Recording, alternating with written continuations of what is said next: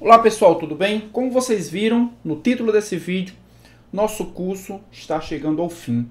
Como tudo na vida, tem um começo e tem um fim. E nós vamos preparar as últimas aulas do curso de farmacologia.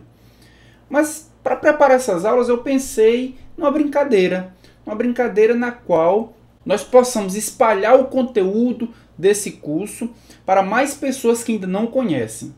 Então, em 2018, a ideia é preparar oito novas aulas para o curso de farmacologia, que seriam as oito últimas aulas. Mas essas aulas serão preparadas à medida que nós atingirmos um determinado número de inscritos no canal. Por exemplo, ao atingir 65 mil inscritos, a aula de cardiotônicos ela será preparada e postada no nosso canal. 70 mil interações medicamentosas, 75 mil reações adversas, 80 mil antibiótico terapia, 85 mil intoxicação por medicamentos, 90 mil formas farmacêuticas, 95 mil reposição de hormônios sexuais masculinos e 100 mil inscritos imunossupressores.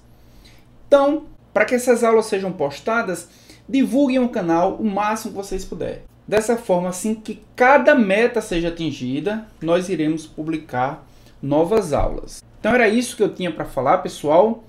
Quem sabe não voltamos com um novo projeto. Até lá!